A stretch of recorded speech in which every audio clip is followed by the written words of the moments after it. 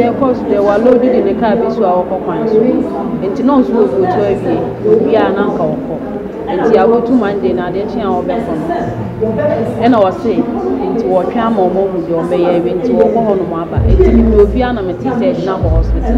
Nti mi koduru hɔ no ɔmo de no afi operation room a wɔba no nti yɛwɔ hɔ a na me koraa na fi nti na meda hɔ nti mi sɔre yɛ na mete sɛ ɛsi wɔ yi. Mukarama Saidu is the wife of Mohammed Tajuddin. Mohammed Tajuddin was one of the two persons who lost their lives in the Techiman South constituency after being hit by warning shots from security personnel. The incident also got six others injured. 18-year-old Abdullah Ayark is another victim. His father, Yusuf Amalo, is not happy with the turn of events. It's quite a long time. We didn't hear any justice as now up to date. So are just appealing to the government to bring the justice. But up to date, we haven't heard anything from the government.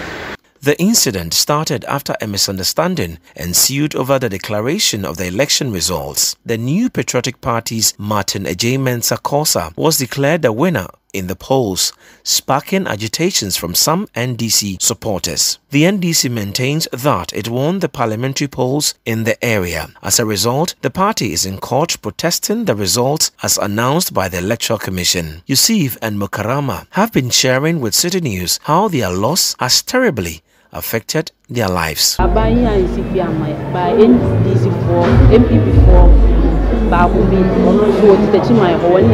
Na wɔn nyinaa atwa blɔk so agu ɔbɔ fie sɛ ɔba abɛsi yɛte ha fie nti ankosi ama yɛatu akɔ hɔ nti sie ne baayɛ no ɛna maa no si blɔk so wɔ deɛ a ɔde bɛsi ama papa no ne nkwadaa no. They came to our list and then they came and then say that they want to come and then tell us that they will follow the matter.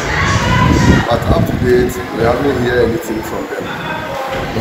So we are just still waiting for the government to bring the justice to the family. The families were brought together at the 48th birthday celebration of the National Women's Organizer of the NDC, Hannah Bissiw. She said she was not happy with the handling of the matter which happened eight months ago. They shot, they killed. Up to date, no justice has been done. How disappointing is this, and what does it speak of the Akufo government? No, it's very, it's very disappointing because as a government, what you need to give to the people, the first, your first duty is to secure us as security. But this government is making everything possible to take away our security and our peace of mind in this nation. Justice has become an, um, a thing of the past as far as, or as long as, or as far as this Akufo-Addo's government is concerned justice means nothing. They've deleted it from the dictionary and from their vocabs. Violence has become the order of the day. Injustice has become the order of the day. A member of parliament for Techiman South earlier announced a package for the affected families, but it appears the families want more than material things.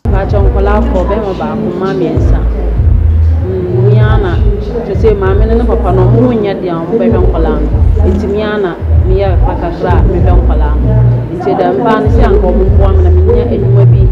a bɛhwɛ nkwadaa no one is better than someone. You understand? So if anything happen, we know that government is the control of everything. So once we are we are in, we are Ghanaians.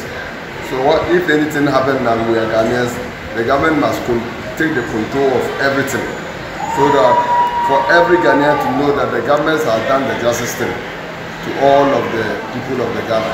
Because we don't want this thing to happen again. It is going to continue like this. It will be on some generation for some time.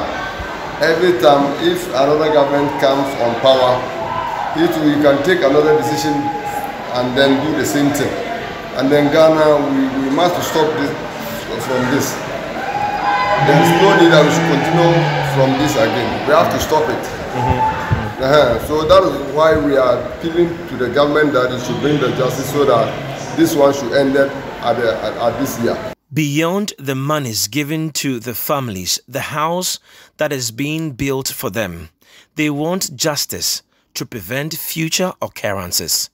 I am Kojo Ajaman reporting for Citi News.